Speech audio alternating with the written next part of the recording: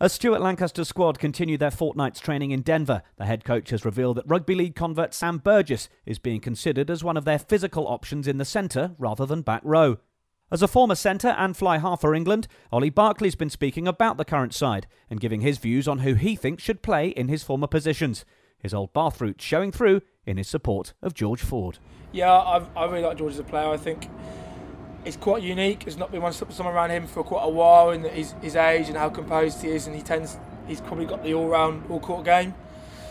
We've had tens in the past that have probably been good at one thing and not great at the other, and um, other than perhaps Johnny. So I think he manages the game really well. He attacks the line really, really well. He's not afraid to play a boring game, which sometimes you have to, particularly at Test match level for the first 20 minutes of each half and he's very focused. You know, like the team works very well around him. Everyone has belief in him, which is a huge part of playing in those sorts of nine, ten positions where you're asked to control and make decisions.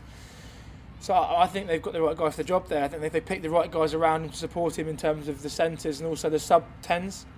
So whether you go with Cipriani, um, who you can bring on for the last 20 minutes to change the game up a little bit, I think what we don't want there is to have someone that's similar to George. I think when you bring someone else on at 10, then you need them to um, add a different dynamic to the way the team plays, and I hope they put the right players in there. But I think they're they're in a, they're in a really good place. Just I think the World Cup warm, warm games will be a, a pretty big indicator as to where they're at. And with George at 10, I know they've tentatively tried Owen Farrell uh, at, uh, at centre previously. You played at fly half and centre. What are the main attributes required for each position? Uh, it largely depends on, on how you want to play your game, I think. I think if you want to play a, a wider game and you want to play a lot of second receiver and you like to play screen balls at the back of forwards and stuff, then you need that second receiver there to control and influence that. A lot of centres aren't really the greatest organisers, but you put a 10 to, to 12 and he's very familiar with organising players around him, so it can take pressure off the 10. Depends the way Stuart Lancaster wants to play. You know, do you play someone like Burrell and Barritt, or Kyle and Eastmond and Burrell, or you know, you want to get some gain on in there. It depends how you want to play. And to be honest with you, I don't, I'm not too sure. We'll see. From the, we'll have a good again. The want games will show, be very very clear how they want to play. I don't. I think they'll probably they'll probably go with whoever's playing best at the time, and then work the, the playing style around that.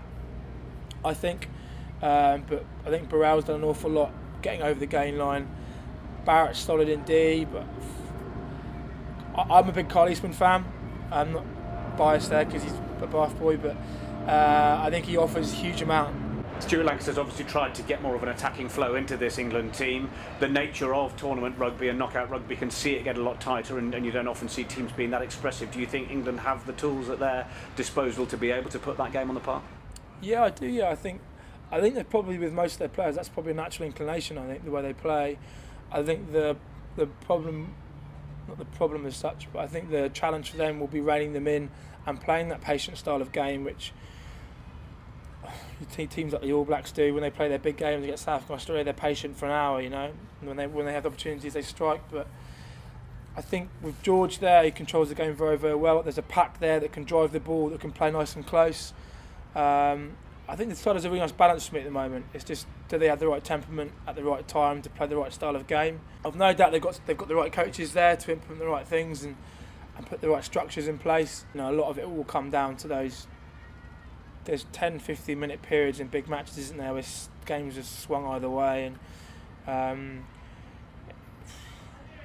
who knows? It's who knows. It's very hard to tell in World Cup rugby. You know, you've seen you've seen form go out the window, and you've seen some sides. Who would have thought France would have got to the final in 2011? You know.